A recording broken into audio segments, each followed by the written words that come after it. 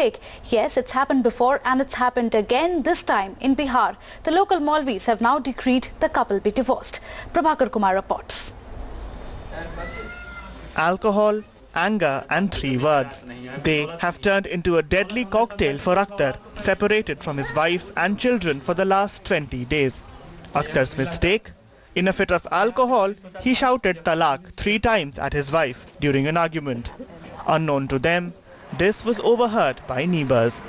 हमारे जुमान से ऐसा निकला लेकिन हमको मालूम नहीं है ख्याल नहीं है कि हमने कितने मरतबे बोले मगर लोगों ने गांव वाले हमको पाबंद किए हुए हैं कि नहीं तुमने बोला है और बीबी से भी जब बुलवाया गया What was a domestic squabble is now being settled by the villagers.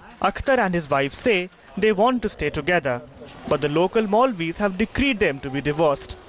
And Islamic law says for them to stay man and wife, Shakina has to marry another man, stay with him for at least four months, divorce him and then marry Akhtar again.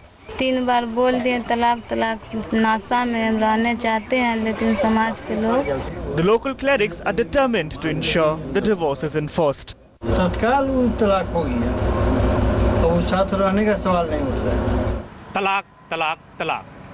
These three words spoken in a drunken state has played havoc in Shakina's and Akhtar's life and future of their married life no more rests with them but with Islamic clerics who will now decide whether a wife should be allowed to stay with her husband or not or can children have their father back home.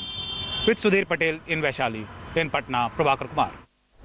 In fact, that's what the State Minister for Building and Construction, Munazir Hassan, also says. He says that clerics have the final say in matters of talaq. देखिए ये पूरे तौर पर शरीयत का मामला दीन का मामला और इसमें जो दीन के उलमाए कराम हैं वो वो, उनकी जो बात होगी, वो बात ही जो उस मामले में सनद मानी जाएगी। So will Akhtar and Shakina be divorced? Let's find out more from our Patna correspondent Prabhakar Kumar. He's joining us now live from there. Prabhakar, you've spoken to some clerics early in this, uh, this morning. What do they have to say about what the Sharia particularly lays down in this regard? Yanana, there is a clear divide as far as the opinions of Muslim clerics are concerned.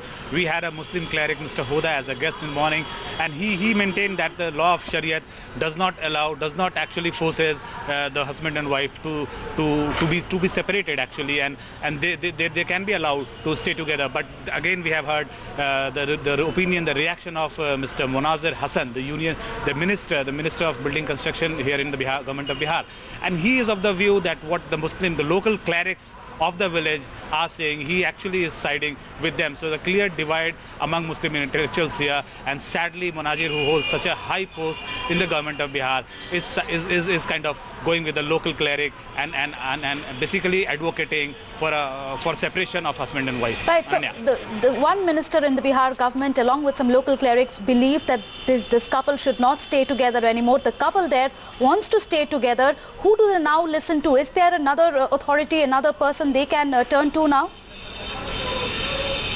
Yeah, precisely. There is a there is an authority in Patna. This is called Imarate Sharia. They have usually have a final say in such kind of incidents. And uh, Munazir Hassan uh, is is one associated with that particular Imarate Sharia. So there is all the possibility that even Imarate Sharia could again side with the local Muslim cleric and Munazir Hassan and, and could actually uh, play a doom for the future of uh, the husband and wife here. Prabhakar Kumar there, thanks so much for joining us. And now here's a job with almost no pay. But that's not stopping people from lining up for this particular job. That's right, every corporate